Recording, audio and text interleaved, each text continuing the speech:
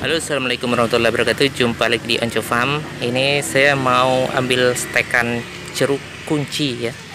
Ini lihat buahnya seperti ini jeruk kunci. Kecil-kecil.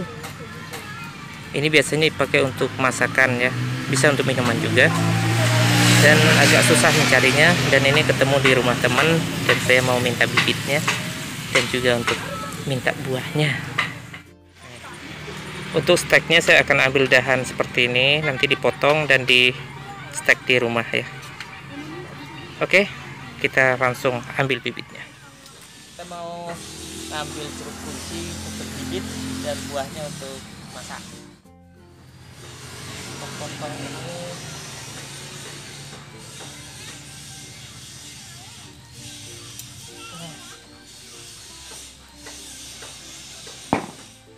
Bibit satu lagi. Mantap. Cukup ini untuk di stack. Oke teman-teman sekarang saya akan langsung mempraktekkan menyetek jeruk kunci ini atau jeruk kasturi ya. Namanya ini macam-macam. Ada yang menyebutnya jeruk kunci dan ada juga yang bilang jeruk kasturi. Terserah mau pakai nama yang mana. Saya kadang menyebutnya jeruk kunci dan kadang menyebutnya jeruk kasturi. Ini bibitnya tadi saya ambil dua dahan minta dua dahan di rumah teman ya. Dan sudah saya rendam di dalam air nutrisi. Ini air nutrisi AB mix yaitu nutrisi yang biasa saya pakai untuk menanam hidroponik. Jadi sengaja saya rendam sekitar setengah jam tadi agar nutrisinya bisa masuk ke dalam kulit-kulit apa namanya eh, dahan jeruk ini. Jadi akan saya setek sekalian buahnya ya teman-teman ya siapa tahu berhasil langsung berbuah kan? Asik toh. Jadi buahnya akan tetap saya gunakan langsung tidak dibuang. Untuk menyetek teman-teman saya sudah siapkan ini. Ini adalah media tanamnya dari arang sekam yang dimasukkan ke dalam gelas plastik. Terus ada ini gunting tanaman. Kemudian ada ini bawang merah. Ada pisau. Kemudian ada ini plastik untuk menyungkupnya dan karet gelap ini karena terlalu besar ini ya. Jadi akan saya potong lagi di sini. Jadi saya akan menyetek tiga jadinya. Kita potong di sini ya. Bismillahirrahmanirrahim. Di sini saja. Bismillahirrahmanirrahim.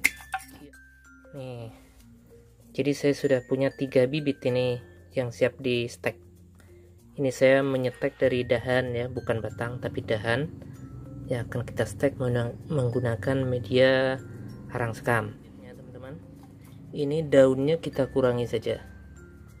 Kita kurangin. Sisakan sedikit saja sebagai indikator kalau dia nanti berhasil atau tidak. Kita buang daun-daunnya supaya bisa tumbuh lebih cepat nanti. Ini buahnya sepertinya juga perlu dikurangi terlalu banyak. Langkah selanjutnya sebelum kita tancapkan di media tanamnya kita akan oleskan pangkal batangnya itu dengan ini dengan bawang merah. Karena bawang merah ini bisa untuk merangsang pertumbuhan akar ya jadi bawang merah ini kita oleskan di sini. Di tempat yang nanti kira-kira akan keluar akarnya. Kita oleskan dengan bawang merah. Oke. Yang berikutnya kita oleskan.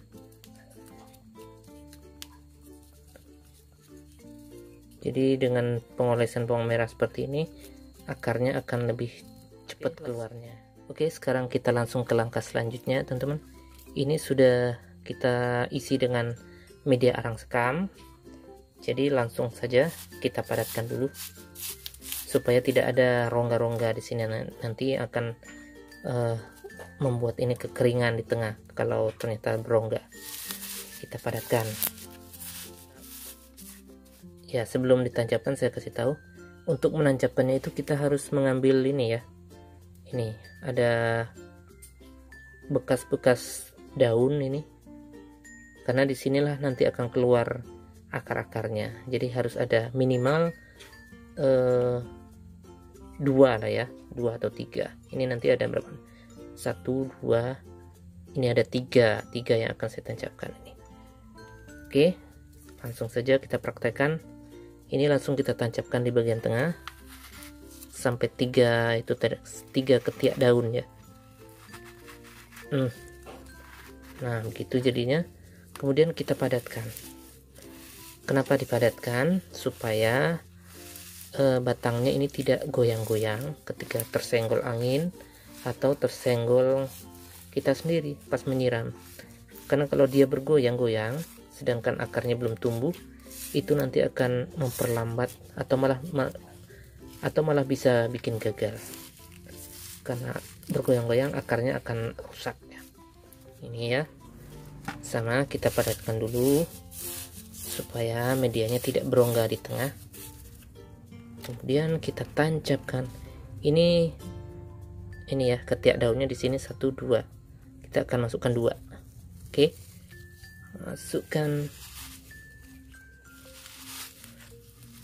Yuk nah terus kita padatkan lagi.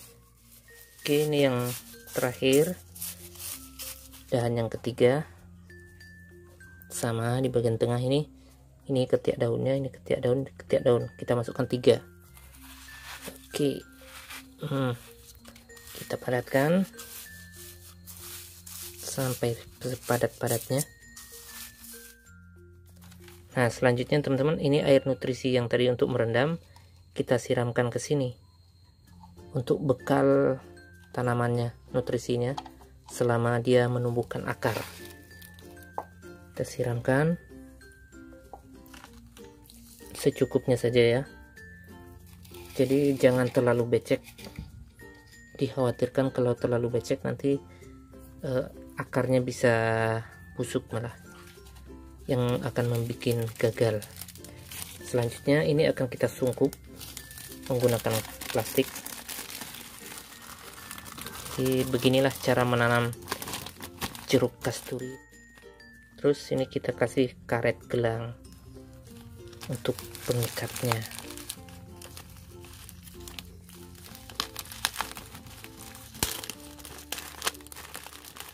Oke selesai satu. Kita lanjut menyungkup jeruk yang berikutnya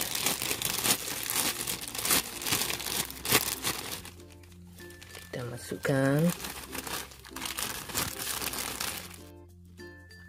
Terus kita ikat. Ikatnya gini aja ditaruh dipasang aja karetnya seperti ini. Dan yang terakhir. Nah ini buahnya banyak nih teman-teman. Ada tiga. Semoga nanti jadi ya sama buah-buahnya